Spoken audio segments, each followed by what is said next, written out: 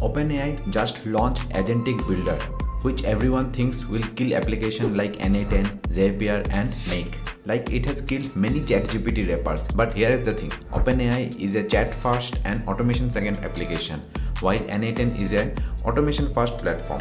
On the top of that, it's open sourced and self-hosted. For big companies, n8n fits perfectly as it can meet compliances, security and role-based access and governance requirement. And it doesn't look like OpenAI will make Agent Builder self-hosted anytime soon. Also, n8n support 1000 plus connectors with 400 plus applications like Notion, Slack and Gmail. It even supports complex workflows and multiple branching. And if you're not satisfied with say Grok LLM, you can switch to Llama or use defined LLMs for specific agents. So when you are just getting started or need something simple, OpenAI Agent Builder works perfectly. Like moving all emails containing bank information to a bank folder. But for complex orchestration like sales rep agent or fintech workflow, n8n or Zapier still wins.